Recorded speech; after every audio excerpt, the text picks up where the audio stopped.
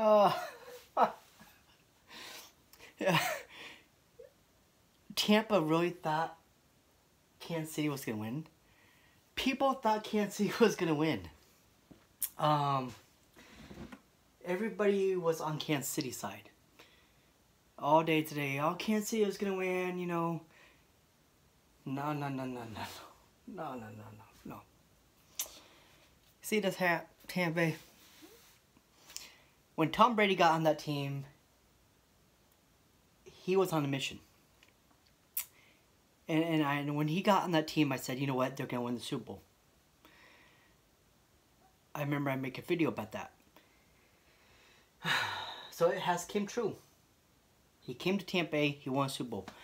But I don't know what happened to Kansas City. I was expecting a better game from Kansas City. Can't tell you what happened. Um, but hey, 31 to 9.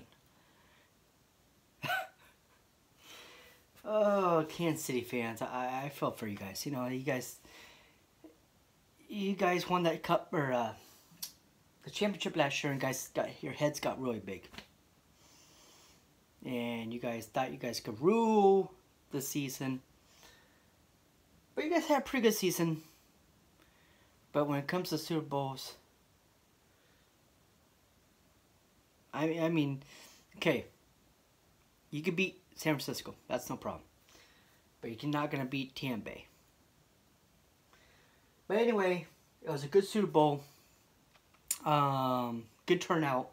The halftime show was kind of eh. I, I didn't watch it because I don't really care for that singer. Um, this halftime show needs they need to have a rock band back. The, these singers now are just they're just not cutting it.